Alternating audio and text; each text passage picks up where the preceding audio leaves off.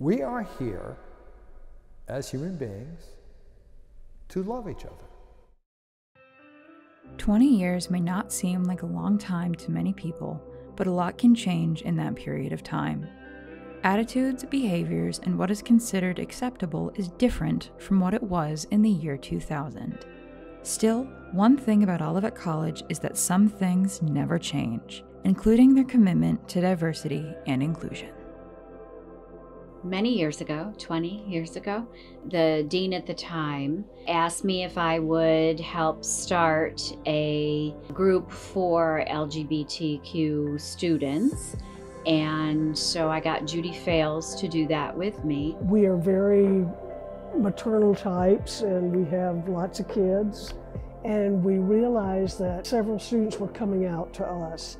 And we were happy that they felt they could and we figured they were probably practicing to tell their parents. It was an outlet to be seen and heard, and I think that's what everybody wants.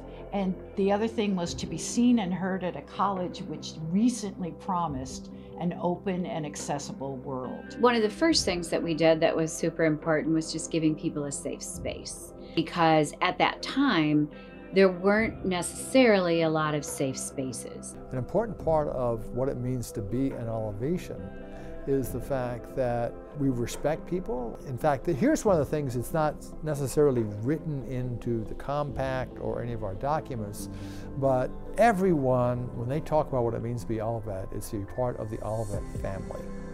It's, this is not just a place where we go for classes. It's not just a job. This is an extended family, and it reaches out to all the people, reaches back to 1844, reaches forward into the future. Our founders clearly believed in social justice. That's not the word they would have used then, but they believed in it deeply in the ways in which they thought about it at that time. By the early 1990s, when the college uh, went through this period of introspection and the creation of the Olivet Plan. So many of those attitudes changed here, different administration, and the school then openly welcomed people from all different backgrounds and embraced diversity and really embraced social justice. And so it, it, it was a period of time where people went from feeling repressed here to feeling very comfortable with who they were and accepted and part of the community. This didn't mean that the discrimination went away overnight. Some students still felt as if issues continued on. They began then to tell us that there was some harassment. And so we decided that we had to answer that immediately because you cannot let something that something like that go on. So we decided to form a group. The main challenge that I faced on a daily basis was continually confronting the rampant ignorance and homophobia that was present on campus from other students. There were a couple of small things. Some, I don't even remember who asked us, maybe when President Tuskegee came in, he suggested that we put up a flag out on the flagpole, you know, the rainbow flag. And there were a couple of people who were like, well, if we're going to put up that flag, we should put up all kinds of flags. But, you know, how many can you put on one flagpole? Events like these seem small in comparison to other instances of homophobia in the world at large. Events such as the ones explored in the Laramie Project. We were very involved in producing advertising, and many of us acted in that play when we had the Oaks Theater and Art was the director. The Laramie Project is very interesting in that it was based on interviews with people who were in the area, people who knew Matthew, people who knew those who were involved in his assault, the police, the uh, judge and jury and all that. And so this is very much a case of what you might even call a journalistic approach to theater we were intentionally casting faculty, staff, students, and community. We wanted everybody to be on that stage and represent the community that Laramie was. Of course, we don't live there, we don't talk that way, but we wanted the age group, we wanted the diversity of age groups and situations to be on that stage. So anybody in the audience could see somebody appear and, and relate to that person. The Laramie Project was based on the murder of Matthew Shepard, who died October 12, 1998, in Fort Collins, Colorado. Matthew Shepard was a college student and he somehow was with some people he didn't know very well and they killed him. Really they did it just because he was gay. That was actually how hate crimes began. That special designation for crime was because of the matthew shepard case. We invited matthew shepard's mother and she read her victim statement that she read in court but then she discussed with the crowd, accepted questions from the crowd. I think it was after she spoke. I was riding in the car with her and some other folks. I think we were taking her to the airport or to her hotel or something. And I was just sharing about my experience with my family. And at that time, I wasn't out with them. And it was like the next kind of thing on my queer to-do list to like okay started common ground okay check you know now i gotta come out to the family at some point. But i had asked her you know about you know her experience and asked for some advice. And so she you know she encouraged me to come out. And it was a really moving it was just a moving experience overall to have her there in that moment at that point in time. And so i came out to my mom that night called her up, you know, told her. It took me a few more years to tell my dad, but I got there eventually. When you don't know people, it's easy to say it's their fault, you know, they're bad.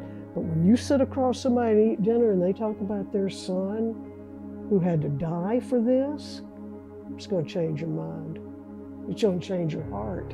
Common Ground performed the Laramie Project in 2001, but little did the campus community know the group existed before that. It has its roots dating back to the spring of 1999. We named it with the students, we named it Common Ground. We had direct conversations with the Christian group on campus. The idea for the name, in part, came from these tensions. The idea was like, you know, we may agree, we may not agree on a lot of things, but through our differences of opinion, there needs to be some base understanding, some common ground to recognize that we deserve the space to be ourselves and to not be threatened in the process of doing so. We were founded on Christian principles, and Christ says, Love the Lord, love your neighbor. He doesn't say love your neighbor, but. The idea of loving your neighbor can still be difficult for some people, so common ground still had to be careful in order to be accepted. We wanted to attract more people to our club and attract more of the administration and faculty and staff and and so if you do things that are so bizarre, you run a risk of alienating people who would really help you. What changes people's hearts and minds is meeting people, seeing them as a fellow person, and then going, oh, and you're gay. Oh, and you're black. Oh, and you're Hispanic. And then realizing that stereotypes and other things in your life don't quite match up with that person that's sitting across from you. The events Common Ground hosted were designed to attract people of all backgrounds, regardless of race, gender, and sexual orientation. We had fun and clever ways to get people talking and thinking about visibility. Judy was in the library as the li- librarian, and she thought, well, let's just have a door and have people open the door and come out. It was in the red lobby in Mott and people could walk through it and come out themselves or walk through the door and say, I have a niece that I love who is a lesbian. You know, this is part of my family, you know, and, and I'm invested in this because someone I love is gay. In 2015, a decade and a half after Common Ground was founded, the United States Supreme Court passed the monumental court case Obergefell v. Hodges to legalize gay marriage nationwide. Students didn't do a big party. They celebrated individually with their peers in their groups, like Common Ground, like the Greek houses and societies. That's another thing I want to mention about all of that. Greek houses and societies work really hard to champion LGBTQ plus issues. Groups, supporting groups on campus is the best way for them to survive. Alpha E has definitely had lots of members who were kind of in both not that like Alpha E is specifically a Greek house that's like focused heavily on acceptance toward like LGBTQ individuals. I mean, lot, like, all Greek societies should be. A couple times we actually held common ground meetings in the Alpha E house because those were the only people besides me that showed up. A lot of times it was just we were, we were just meeting to try to discuss like plans for for group activities. My first event that I threw with the group I performed in, it was the drag show. Our first drag show was amazing. And I personally had not been to one except in Las Vegas where they're they're really entertainment more than they are drag shows because the the normal drag show is our pe- normal people doing something they love they might not be experts at it. And I performed This Is Me from The Greatest Showman. It's one of my favorite songs, and it kind of inspired me to start my drag journey, even though I didn't continue it after that moment.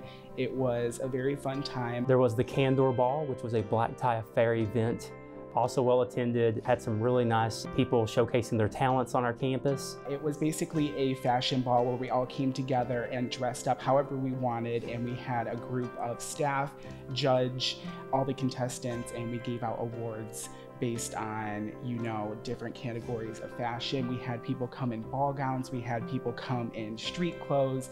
It was really an environment where everybody was accepted, everybody can shine through, you can dress up how you want. Last year, we started our Transgender Day of Visibility rock painting event.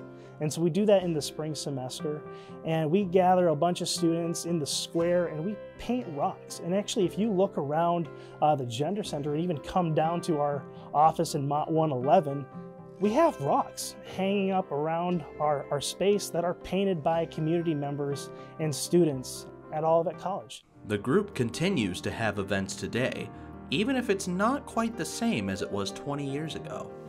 Previously, the group was called Common Ground. They reinvigorated it just a few years ago, 2018 or 2019. I'm really grateful to see Queers and Allies, the successor of Common Ground, if you will, thrive in many capacities with a great leadership, a lot of student involvement on our campus, and a lot of great events hosted both semesters and hopefully for many years to come. Especially with this being such a small college, it's good to have that diversity and being able to experience somebody else's point of view can really help you with that empathy in the future and just being more accepting in general.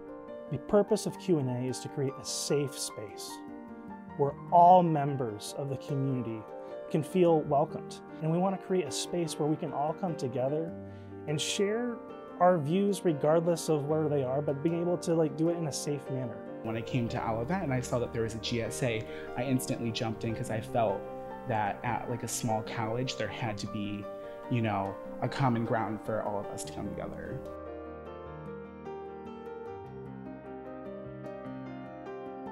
A lot of times students are surprised and they'll say things like, well, back in the day when people didn't accept gay people. And I say, You mean like this morning? In um, 2018, there was this LGBTQ youth report that came out. LGBTQ students are at the greatest risk of suicide and self harm. Now, what I like to focus on, there's actually a 90% reduction in suicide risk for a transgender and fluid or non binary student who finds an affirming community that accepts them for who they are and their gender identity.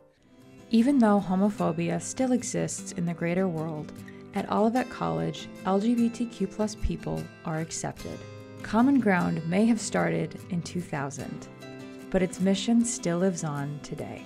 Some traditions pass away, but y'all think up new ones, students think up new ones, you know, and new events, and it's, it's just been wonderful to see it carry on. I think it it's just that whole idea that we value people and we want to connect with our students and help them grow. I'm not necessarily the person who has to be involved in Common Ground for it to happen because there are other people as well who are going to come forward and help, and there weren't 20 years ago. You come to college to, to broaden your horizon and to look further, and so that's, you know, you don't discourage open thought here. When common ground is at its most powerful, it brings us together. And it helps us to celebrate our differences because we are, we all, we're all different. Uh, we have different beliefs, we have different approaches to life, uh, there are all kinds of things. But if we celebrate the difference, as opposed to letting it be a barrier between us, we come out better.